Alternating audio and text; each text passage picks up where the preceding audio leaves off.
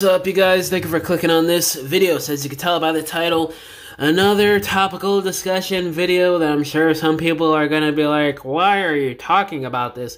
Well, it's because a lot of people uh, in the Transformers community have been talking about this for a few days. So, um, the Titan class price being 160 now is obviously a great thing. I'm not downing that at all. I've even said this in the last couple recent videos since that news broke a few days ago that I think this is great but, you know, there's a couple things to consider here in terms of us getting a smaller Titan going forward. Now, I just want to throw this out there. Now, we don't know if this is going to be the permanent price point for the next, I don't know, four, five, six years or whatever.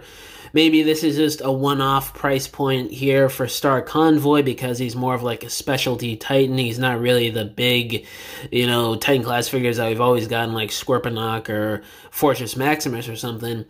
But the thing that kind of baffles me a little bit is if this is the price point going forward, 160, how are we going to handle some of those bigger characters that should be Titan class sized, like Scorponok or Fortress Maximus? Uh, all these Gigantion characters from Unicron Trilogy uh, a Metroplex redo at some point. I know that's going to happen. We haven't gotten a new Metroplex in over 10 years now. It's been almost 12 years since the original. So that's got to be coming at some point soon, right? It really makes me question if a lot of these characters are going to be HasLab only going forward if the price really does stay at 160 and because of that we're going to be getting smaller titans going forward. Now, the whole smaller Titan thing is a bit confusing because Star Convoy is still really huge and he still comes with a crap ton of blast effects. It's like 12 or 14. He has the Hot Rod minifigure, the mini truck that can store Hot Rod, a bunch of guns. So, it's it's a bit tricky to look at, to me at least, that, um, I, I don't know, maybe with us getting this cheaper price point, it, it's a thing of there's no going back at this point, at least for a few years. And, you know, we just have to deal with it. But a part of me is also like, what if we just kept the $200 price point with the Star Convoy and they just decked him out to make it worth the $200 instead of making it $40 cheaper and this potentially being the price point and the size of Titan class going forward for the next however many years. Um, that's something that I don't know. We're just gonna have to wait and see. But if it is permanent, I kind of wish they would have just decked out Star Convoy and kept it at 200 because there's so many characters that need to be redone as Titan class at the $200 price point and at the size that we've been seeing with Titan class since the beginning in 2013 that I don't know if it's worth the sacrifice on these characters being HasLab releases or just being smaller, more compromised Titans than what they would have been before at the $200 price.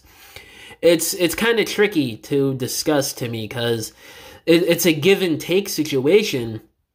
Now, again, I don't mind the price change. I think it's great. It works. But there are a few things to consider here that I've mentioned in this video that's a bit iffy to me on the future of Titan class and handling those bigger figures and characters that a lot of these are just going to be designated to HasLab probably. You know, here's your $200 HasLab for uh, uh, Cybertron 2005 Menasor. Or here's a two $300 HasLab for a new G1 Metroplex. So I don't know how this is going to work for the future. Hopefully it's for the best, you know? Maybe this is a one-off thing and it goes back to $200 in 2026 or they just find a good way to work around getting some of those taller characters out um, while still handling the 160 price tag or doing them as maybe made to order. I've been talking about this the last couple of videos. They could do some of those bigger characters that wouldn't really work at retail and wouldn't really work at the already designated size classes they could do made to order releases. That would be really nice to experiment with Transformers. They've been doing it with Marvel Legends recently, so that would be cool to see.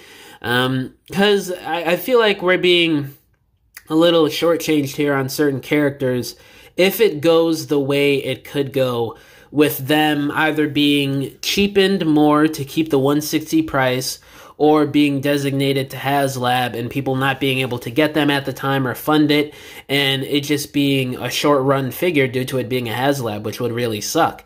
You know, we saw that happen with RID 2001 Omega Prime. It's great that we have the release, but so many people out there who want it can't get it because they couldn't fund it at the time and they don't want to pay, you know, aftermarket prices when the figure comes out next year. And it's just, it, it kind of sucks when you think about HasLabs that way. But um, yeah, guys, I just wanted to talk about this for a little bit and kind of uh, throughout there some of the scenarios that could happen with Titan class being 160 for the Star Convoy release next year. Again, I'm not bashing the figure, I'm not bashing the price point. It's just a couple scenarios to think about that may be positive or negative on the impact and future of the Titan class price point on how they handle some of these characters going forward.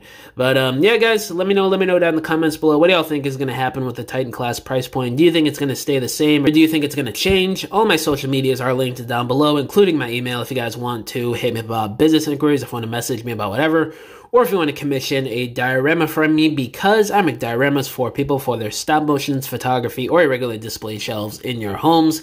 You can either hit me up on any of my social media accounts or just email me and we can work out a deal. But yeah, guys, thank you for watching this video. Catch y'all in the next one. Bye.